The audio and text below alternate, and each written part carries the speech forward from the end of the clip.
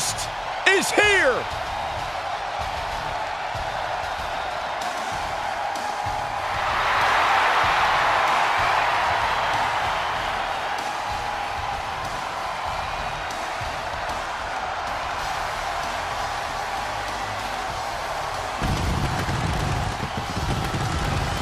The following contest is scheduled for one fall. Making his way to the ring from Minneapolis, Minnesota, weighing in at 295 pounds, Brock Lesnar! I can assure you Roman Reigns is not frightened of Brock Lesnar, but the big dog had better be cautious. WrestleMania 31, it was Roman Reigns who became the foundation of Suplex City.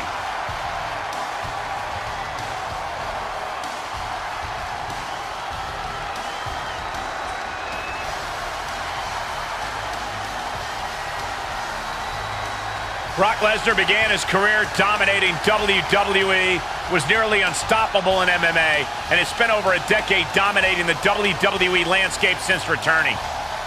Lesnar held the Universal title for 504 days, the longest WWE title reign in 30 years. A man who has been virtually unstoppable. For in-ring experience, breaking streaks and winning titles, so Brock would be wise to utilize all of that hard-earned veteran know-how.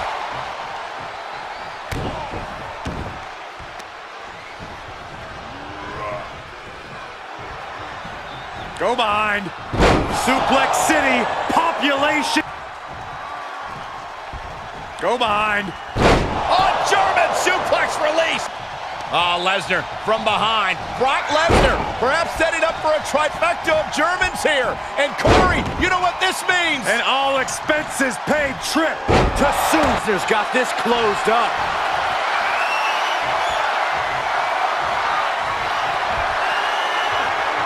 Byron, grab your little dog and warn your aunt. Five. This one is all but over. Penny predicament, shoulders down. Two. Oh, kick out, kick out at two. What a counter. Clothesline, so effective. Lesnar fuses short, ready to explode. Oh, I think we're gonna see it. Lesnar. F5. Oh, my. That's it. Brock's got this.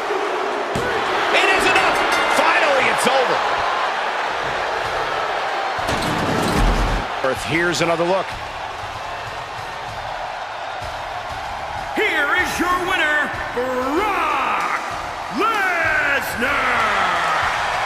The Beast Incarnate proves that he's the toughest animal in the ring, beating the big dog. That man is just plain scary.